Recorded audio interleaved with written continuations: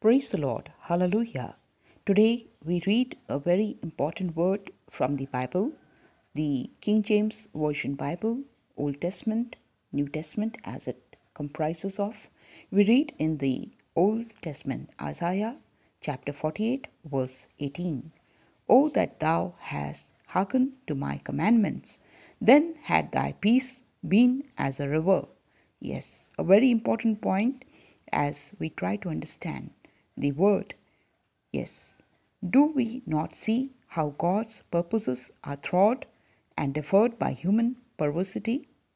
At the very time when God had determined upon the election and consecration of Aaron to the priesthood, Aaron was spending his time in molding and chiseling the golden calf. We might have been crowned 50 years ago. Yes, but just as the coronation was about to take place, we were discovered in the manufacture of an idol. The Lord was just ready to make kings of us when we made fools of ourselves, isn't it? It happens many times, yes, because the word here is saying we have to wait upon the Lord.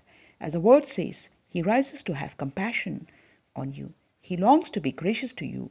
He is a God of justice and blessed is the man who waits upon the Lord. As we read the mighty word is speaking to us in Isaiah 30, yes, verse 18. And it says to us, In quietness and confidence shall be your strength, in return and rest shall be your safety. As we read in Isaiah 30, verse 15. Beloved, yes, let us wait upon the Lord. For the word is speaking to us. In patience, let us possess our souls. When we have the patience and when we have the faith, we will receive the promises. Yes, the word is true, as it is speaking to us in Hebrews, as we read in chapter 12, verse 6. Yes, beloved, everything is there for us. We have to just believe in the living God. Yes, and He will bless us. As the word is saying to us, Hallelujah, God will provide. Genesis 22. Yes, verse 14. He is a Yahweh Ireh. Yes, we have to ask in the name of a living God. Yes, to be a Yahweh Ireh. We have to say, Lord Jesus Christ, I come to you. Yes, come in His presence boldly. Pray every day. Read the Bible every day. Pray every day. Read the Bible every day. Every day. For when we pray, we speak to our living God, Jesus Christ. And when we read the Bible, Jesus Christ is speaking to us. What a privilege, isn't it? So read the Bible and pray every day. Take out the time as we respect our boss, as we respect our owner, as we respect the director of the company. We have the living God who's the maker of heaven and earth. Yes, the maker of heaven and earth is here with us right now. So let us respect him. The word is saying to us in Zechariah 1 verse 3 Draw near to me and return to me, and I will return to you. Draw near to me, and I will draw near to you. Yes, and the word is discovered as we read in Proverbs chapter 8, verse 17, 18. It is speaking to us. Yes, I love those who love me, and those who seek me diligently will find me. The word is saying here diligently. Yes, seek him diligently. And the word says that he will bless us. And he hears our prayer, for he is the God of living, not the dead, as we read in Luke chapter 20, verse 38.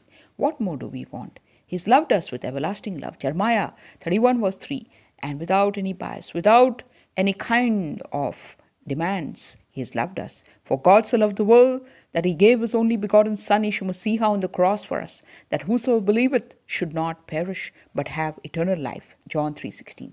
Yes, beloved, whatever your problems are, whether sickness, whether debts, whether it is desperate, you need something, yes, or you are in drugs, you are in addiction, you are at the terminal sickness, the point of death, you are. You are lonely, alone, do not worry. Whatever your problems are, come to the Lord Jesus Christ. He is a loving Father.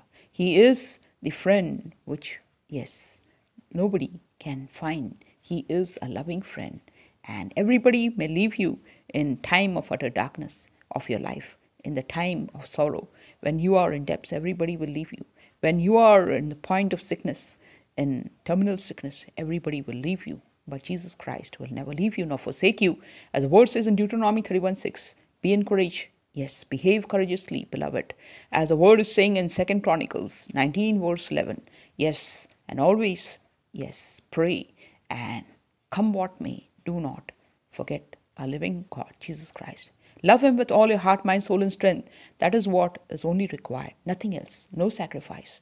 No need of spending any money. You just have to believe in the Lord Jesus Christ. Only believe. Mark 5:36. And ask what is your request. Read the Bible. Pray. Yes, and He will answer your prayer. There's no kind of any any kind of sacrifice or doing something out of the way. No, only believe. Yes, for He's a living God. He's standing there right right next to you. And the word says 365 times in the Bible, fear thou not. Fear thou not. Fear thou not, for I am with thee. And yes, the words are true, Isaiah 41:10.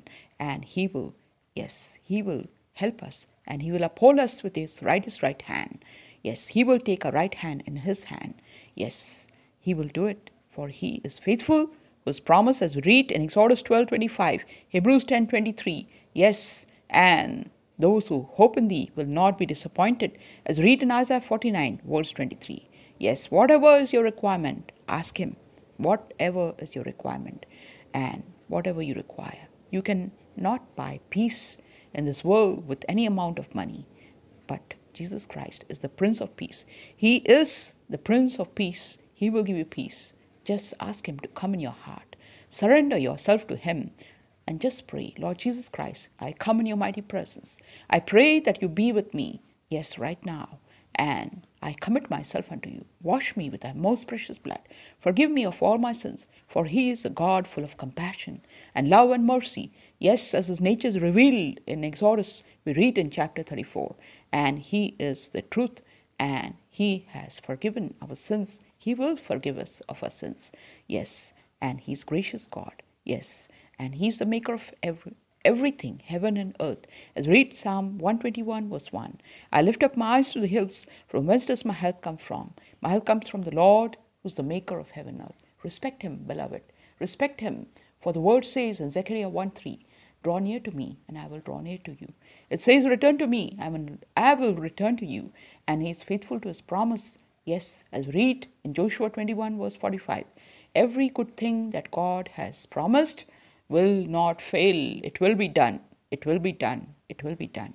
Yes, He is a loving God. He is next to you and to me.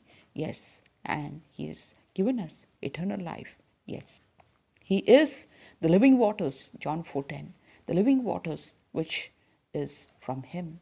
We may thirst with this water which we drink, but he who drinks of the living waters, yes, will never thirst, and he is the bread of life. Man shall not live by bread alone, but every word that proceedeth from his mouth. The words are true, as we read in Matthew 4 4, beloved. Yes, for the word is saying to you and to me, do not worry about tomorrow, for tomorrow will worry about itself. Yes, the words are true. Matthew 6, verse 34. Yes, the birds we see, they do not sow, they do not reap, but God provides them. Yes, every morning when we get up, we see the birds are praising the Lord. They're humming, they're praising the Lord. Yes, they're thanking Him, and He takes care of them. Let us also praise Him all the times, every second, every moment. Let us thank Him for His loving kindness in the morning and His faithfulness at night. Yes, it is true, as read in Psalm 92, verse 2. Yes, my beloved, yes, He's there with us. He will give you everything what we cannot buy he will give us everything the wisdom, the knowledge, everything He will give us. Hallelujah. Yes, one small life in God's great plan. How futile it seems as the ages roll. Do what it may, or strive how it was, and it can, to alter the sweep of the infinite whole. A single stitch in the endless web, a drop in the ocean's flow or ebb. But the pattern is rent where the stitch is lost, or marred where the tangled threads have crossed, and each life that fails of true intent mars the perfect plan that its master meant. Remember the awful truth that I can limit the Christ's power in the present, although I can never alter God's almighty order for a moment. There is niches in God's own temple. It is thine, and the hand that shapes thee, for it is divine. So, beloved, always remember yes, just see. Let thy will be done, as read in John 6:38. For from the beginning he knows the end, as read in Isaiah 46 verse 10. And the word is saying in Isaiah 46 verse 4, as read the mighty word, he will carry me even in my gray hair and old age. So do not worry. Cast all your cares upon him, for he cares for you, as read in 1 Peter 5 7. There is great joy in his presence, beloved. Yes, when we receive Christ, there is great joy. For the joy of the Lord is my strength, Nehemiah 8.10. So be filled with the, with the peace, with the grace, with the blessings, and also with all your needs today be blessed. Hallelujah. Yes, Jesus Christ loves you. Jesus Christ loves me. As read in Isaiah, it is speaking to us in 43 verse 4. Yes, that we are precious in His sight, we are honored. The word is saying to you and to me, I love you. Jesus Christ is saying to you and to me, beloved, I love you, He says to us. And also, He will give men in exchange for us. Yes, He's a mighty God. He can do everything, and none of His purpose can be withheld from Him, as read in the mighty word in Job 42, verse 2. So be blessed today. Yes, let us praise Lord Jesus Christ every day. Do remember to listen to the channel Arise and Shine. Yes, every day. That is Alfred Rathod and family. Arise and Shine channel. Alfred Rathod and family. May Jesus Christ bless each one of us. Hallelujah. Amen.